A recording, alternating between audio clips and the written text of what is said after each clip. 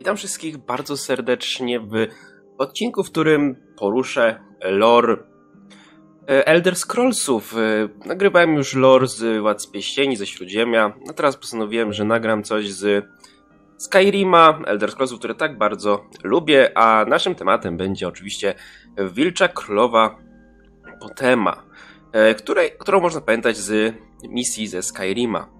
Ogólnie była to Potema Septim, y, znana również jako Wilcza Królowa Samotni, księżniczka cesarska, królowa samotni, jedyna córka i drugie z czterech dzieci Pelagiusa Septima II i Kizary. Była przyrodnią siostrą Antochiusa, Magnusa i Ceforusa, a w wieku 14 lat wyszła za mąż za najwyższego króla Skyrim, Manticaro. E, wraz z nim miała syna Uriela III, który został cesarzem. W trzeciej erze Potema rozpoczęła wojnę o Czerwony Diament.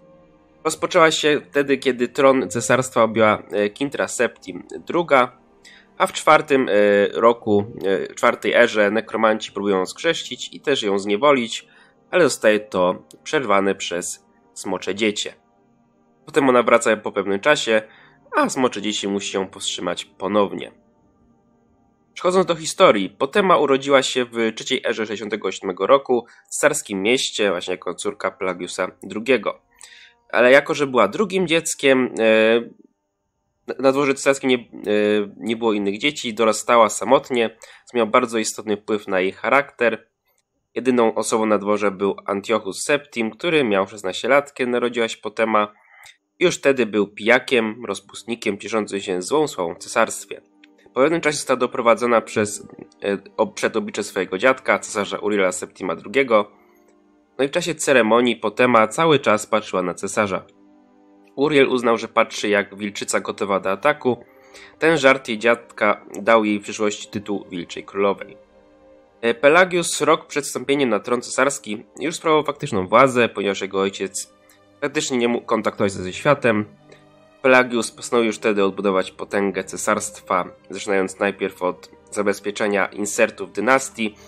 Właśnie wtedy wpadł na pomysł wydania swojej córki Potemy z najwyższego króla Skyrim i władcy samotni, który nie utrzymał, nie utrzymał najlepszych stosunków z cesarstwem. Wychodząc za mąż, miała 14 lat i była bardzo młoda, dlatego stary król, król bardzo ją pokochał i łatwo dawał się jej zwodzić. Trzy razy zachodziła w nim ciążę, jednak dwa razy poroniła. Dopiero za trzecim razem urodziła chłopca, którego nazwała na cześć swojego dziadka Uriela Septima II. Chcąc zarezerwować tron samotni tylko dla swego syna, pozbyła się Manticarco z poprzedniego związku, podrabiając dokumenty i oznajmiając, że chłopak jest Benkartem jego byłej już żony. Potema miała jednak dla swego syna wiele większe ambicje niż, niż tylko samotnia. Według niej Uriel zasługiwał na cesarski tron, a po śmierci ojca w 1909 roku trzeciej ery udała się razem z mężem i dworem do cesarskiego miasta na pogrzeb i spotkanie z rodzeństwem. Po śmierci swojego męża władała samotnie jako regentka wdowa do czasu, aż ich wspólny syn nie dorośnie. Potem w tym czasie zasiewała już ziarno wyższości w swoim dziecku, przekonując Uriela, że powinien zostać cesarzem. Potem zmierzyła się z królami Magnusem, władcą czarnych mokradeł i Ceforusem, władcą Zuskiej Skały, Następnie pojmała i straciła Kintrę II. Wtedy wybuchła też wojna o Czerwony Diament, czyli to była wojna domowa, która trwała w trzeciej erze między 120 a 127 rokiem. No i Kintra II po stracie ojca Antoniusa została korowana na cesarzową i wujek Ceforus Septim I i Magnus Septim. Uczestniczyli w tej koronacji, lecz jej ciotka Potema, e, królowa samotni, została wygnana za obrazę Kintry, ona potem uknęła intrygę, dzięki której chciała odzyskać tron dla siebie i swojego syna. Doprowadziła do wojny domowej, która później właśnie była nazwana Wojną o Czerwony Diament, a siły cesarstwa łatwo pokonały wojska Skyrim oraz Wysokiej Skały. Kiedy na tron cesarstwa po śmierci Pelagiusa wstąpił jego najstarszy syn Antiochus, cesarstwo powoli zaczynało upadać. Odbyła się inwazja na wyspy Somerset, którą jednak odparto. Fala rebelii, konfliktów wciąż się nasilała, a cesarz nie mógł sobie z tym poradzić, jego autorytet przez to bardzo osłabł, a w tym czasie jego siostra Potema, rozgoryczona zarazem, że jej brat włada nieumiejętnie cesarstwem, uważała, że powinna dostać ten tron. No i Potema, sprawując władzę na samotnią, zreformowała administrację, no i wojsko samotnego królestwa. Potemie jej synowi udało się zebrać wielkie siły, e, ale Ur Uriela popiera cała prowincja Skyrim. Udało mu się także znaleźć kilku sojuszników w wysokiej skale, jednak niewielu, ponieważ miał również sobie poparcie w Cyrodiil oraz pozostałych prowincjach, w których dominowali jej bracia. Udało mu, się udało mu się zdobyć kilku sojuszników w Morrowind, przede wszystkim w Ebonheart. Do swojej dyspozycji miał także legiony w prowincjach. Uriel i jego matka postanowili jednak poczekać na osobną okazję do buntu, no i taka okazja oczywiście wkrótce nadeszła. Kiedy w 119 roku zmarł Antiochus, a tron po nim miała dziedziczyć jego 16-letnia córka Kintra, Septim II, bardzo szybko do miasta cesarskiego przybyła Potema, Uriel, a także dwaj sterowie Kintry. W czasie przemowy przed Radą Starszych Potema zarzuciła, że Kintra jest bękartem e, i kapitana z żony Antiochusa i kapitana straży oraz nie ma żadnych praw do tronu. W każdym razie jej pochodzenie jest w najlepszym razie niepewne. Ten, jej syn Uriel jest pochodzenia e, było pewne i ma wszelkie prawa do tronu. Potema otwarcie zaproponowała Radzie poparcie jej syna no i e, carstwo, choć było dziedziczone, to aby e, ostatecznie zostać cesarzem, należało mieć poparcie i uznanie rady.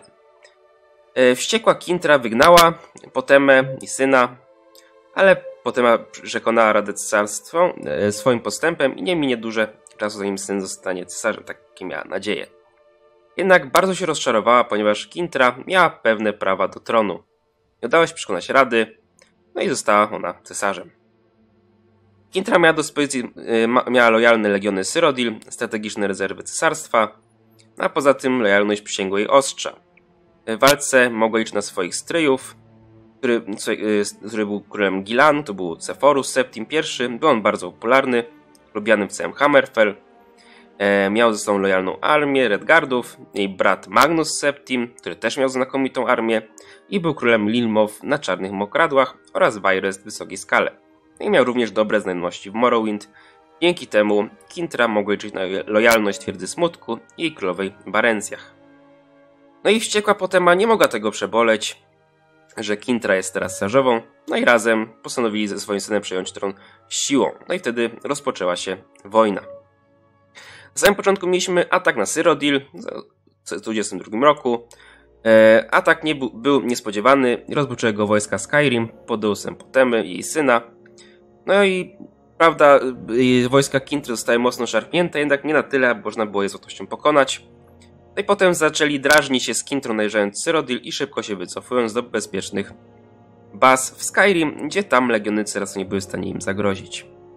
Następnie mieliśmy e, wojnę w wysokiej skale i uwięzienie Kintry, ale też w tym czasie Potema zaczęła się pajać nekromancją. I w trakcie tej e, wojny w wysokiej skale, y, książę Glenpoint zaczął wysyłać prośbę o pomoc cesarstwa, ponieważ jak sam twierdził, niedaleko jego ziem znajduje się ogromna armia Potemy. I postanowiła rozprawić się z ciotką osobiście Kintra. E, pozostawiła część swych sił stolicy pod dosem swojego narzeczonego i ruszyła do wysokiej skały. Potem okazało się, że armii Potemy nie ma, ani śladu, jednak książę prosił cesarzową, a ta zostaje jeszcze jakiś czas w Glenpoint na wszelki wypadek. Została ona potem wkrótce zdradzona i wzięta do niewoli, no i armia Kintry została potem wyrżnięta w pień. I po jej pojmaniu musiała przerzucać ją z Potema z lochu do lochu, aby niemożliwe było jej zlokalizowanie. Jednak większość ataków royalistów szły w kierunku wysokiej skały, ponieważ właśnie tam ją uwięziono. Potema rozpoczęła również kampanię przeciwko swemu bratu Magnusowi Septimowi, który wspomagał Kintrę i atakował Potemę ze swojego królestwa Wajrest. Więc zaatakowała i zdobyła je po ciężkich walkach, jednak Magnus z żoną i dziećmi uciekł na wyspy Balfiera do rodziny swej żony z rodu Direni. No i potem były wysłane posiłki dowodzone przez lorda Modeliusa, który właśnie był narzeczonym Kintry. No i był przekonany, że armia Kintry strzela bitwę i potrzebuje posiłków, została zbrojona ona w pułapkę i wbita w bitwie w Górach Smoczych. I mimo rozgromienia sił cesarskich, wojna w skale wciąż trwała, ponieważ poszczególne królestwa Bretonów wciąż sobą prowadziły wojnę, jedne z Poteą i Urielem, a drugie z Kintrą lub Stryjem. Następnie mieliśmy wojnę o e, Morrowind, e, który e, kolejny był to cios, jaki był atak na Morrowind głowy. Klan Rathim, badający Ebonheart, od lat konkurował ze sprawujący rządy na Morrowind twierdzą Smutku i królową Barencjach, która była lojalna względem Sarzowej. No i Ratmilowie popierali Uriela, mając nadzieję, że dzięki temu przesunięciu przejmą władzę nad Morrowind. No i armia Dunmerów, właśnie z Ebonheart, miała e, nadzieję razem z wojskami Potemy zatkać wierne wojska cesarstwu i przejąć władzę. No i głównym celem stały się forty legionów e, w Morrowind, a sama armia ponosiła jednak duże straty. E, wojska cesarskie i twierdze smutku pod wodzą generała Smachusa, przyjaciela rodziny Septimów, odnosiły sukcesy, ale nie tak niestety w obronie Morrowind zginął narzeczony cesarzowej Kontin Arnyx. No i pomimo sukcesów północne Morrowind należało do Potemy, a południowe pozostało w rękach royalistów. Zatem mieliśmy zdobycie Cyrodiil i wtedy nastąpiła też koronacja Uriela. E, no i chociaż prawie wciąż żyła, a on był też daleko od zajęcia do tronu i nie był Septimem. Potem mieliśmy wojnę z wujami, wtedy Uriel, mimo że, że zdobył cesarskie miasto i się koronował cesarstwa, cesarza wciąż e, było daleko od zakończenia wojny. Wuj Uriela, Ceforus, trzymał duże siły w Hammerfell i był bardzo przeciwny rządom Uriela. Magnus również miał e, bardzo duże siły w Czarnych Mokradłach. No i też była królowa Barensiak z południowego Morrowind i władając na wyspie Balfiera bogaty ród Direni. Ale Uriel cieszył się poparciem w Skyrim i w północnym Morrowind oraz Kanu Radhim. Kraje walki w wysokiej skale były bardzo wyrównane, a cała skała została podzielona na obozy. No i e, potem nastąpiła też śmierć Kintry, która zakończyła czystość krwi Septimów i doprowadziła ich do stop stopniowego upadku.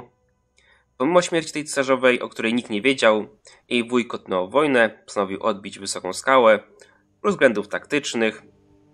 E, podstępnie chodziło mu głównie o uwolnienie bratanicy, no i w wyniku krwawych walk do 125 roku udało mu się opanować cały region prowincji, Armia Potemy musiała się wycofać z powrotem do Skyrim i skupić duże siły na flankach, na pograniczu w Haffingar. Czasem brat Magnus otworzył drugi front z Morrowind. Razem z siłami z Czarnym Mokradeł wsparł siły północnego Morrowind. No i wojska Argonian spisały się wyśmienicie. Dalej mieliśmy decydujące starcie, które były pod bitwą pod Ichdiak. No i wtedy w 127 roku Potema i Uriel zdecydowali się na kontakt, kontratak ich pozycja znacząco się pogorszyła, tracili kontrolę w wysokiej skale, Morrowind. Do tego Cyrodiil było coraz bardziej oskrzydlane. Cesarz Uriel dowodził siłami, które miały zaatakować Hammerfell i zniszczyć Ceforusa, a jego matka na froncie w Skyrim miał poradzić się z siłami Magnusa, no i zdobyć strategiczny zamek Kongmentist w prowincji Biel. W tych ruinach chroniła się armia Argonian, zmęczona po długiej ofensywie. E, w tym czasie legiony Uriela starły się z Redgardami, bity pod Ichdiak.